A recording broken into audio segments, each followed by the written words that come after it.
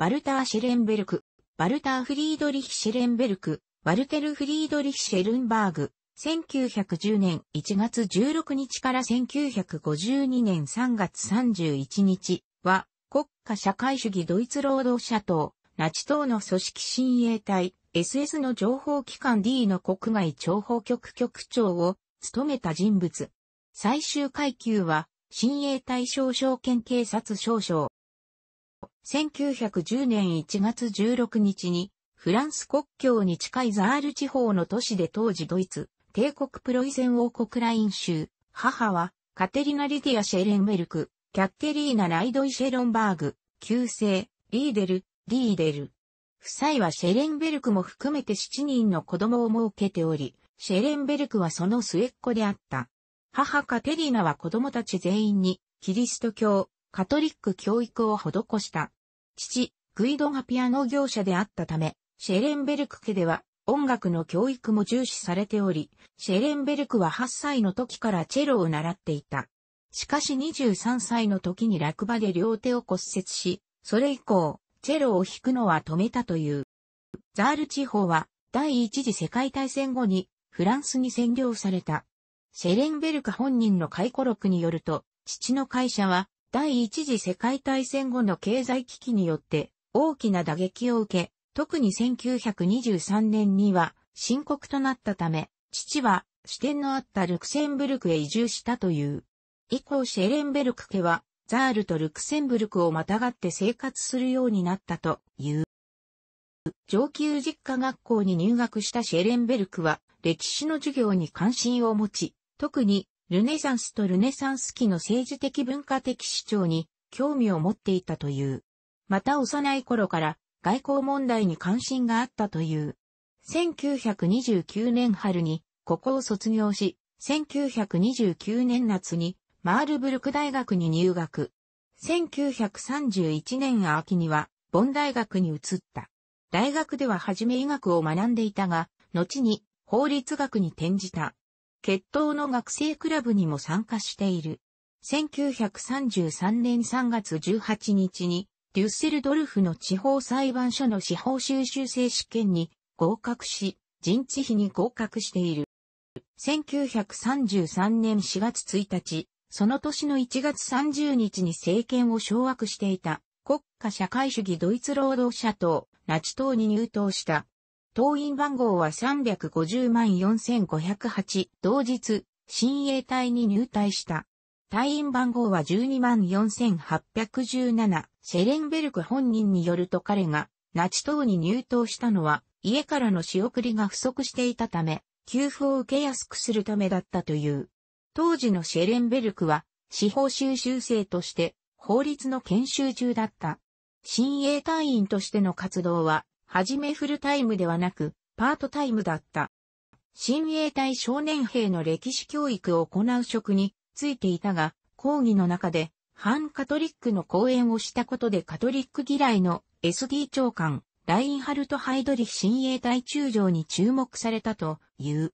1934年に SD に参加した。1936年12月に司法試験に合格した後に、デュッセルドルフからベルリンの SD 本部へ移動となり、SD の愛局、人事、財政部に勤務した。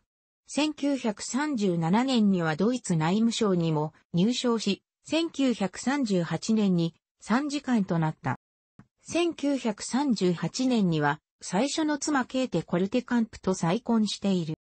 1939年9月にハイドリヒを長官とする国家保安本部が創設されると、シェレンベルクはその第4局、ゲシュタポ局イーブ、防御用部部長に任命された。国防軍防御用部のビルヘルム・カナリスとも知記となる。カナリスは、シェレンベルクの上官ハイドリヒとは、犬猿の中であったが、シェレンベルクには大変好感を寄せていたという。ポーランド戦開戦直後の1939年9月に、ドイツ国境に近いオランダの町フェンローで活動中の英国人情報将校を誘拐する。後に、オランダが中立国であるにもかかわらず、英国軍人にスパイ活動の便利を供したとしてこの事件をオランダ侵攻の口実とした。ヒトラーはシェレンベルク以下、フェンロー作戦参加者を総統官邸に招き、自らの手で彼らに一級鉄十字章を授与した。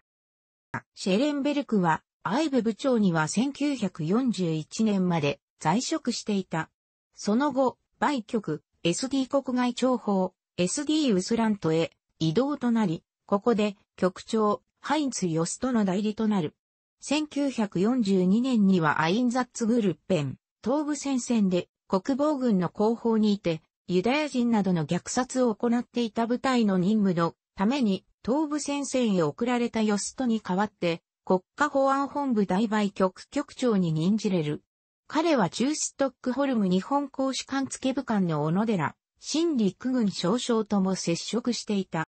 シェレンベルクはハインリヒ・ミュラーと並んで数少ないアインザッツグルッペンの指揮官に任じられなかった国家保安本部の幹部である。シェレンベルクの回顧録によるとハイドリヒはシェレンベルクもアインザッツグルッペン指揮官に任じようと考えていたが、親衛隊全国指導者、ハインリヒ・ヒムラーがシェレンベルクをドイツ外へやるときには私の許可を得るようにとハイドリヒに指示していたため、任命できなかったという。